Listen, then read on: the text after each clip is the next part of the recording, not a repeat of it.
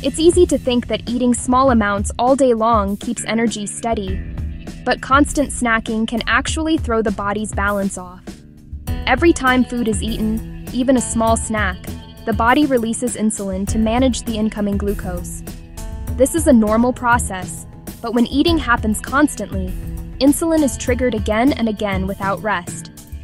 This steady stream of food prevents blood sugar from dropping back to its baseline level. The system never gets a chance to reset or rebalance. Over time, this can lead to an overactive storage system, inflammation, and even insulin resistance. Think of the body's blood sugar system like a dishwasher. If food scraps are constantly thrown in and the machine is run without pause, it never completes a full cycle. It can't cool down or empty properly. The same happens inside the body when snacking never stops. Allowing time between meals gives the system space to process glucose completely and restore sensitivity before the next meal. Here are a few strategies to help the body find its natural rhythm again. Avoid snacking, especially before bedtime.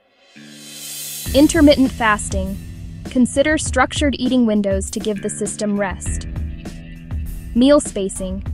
Aim for 3 to 4 hours between meals during the day, or 5 to 6 hours if possible. Nighttime fasting. Leave at least 10 hours between dinner and breakfast. These simple habits allow blood sugar levels to rise after a meal, then return to baseline, just as they should.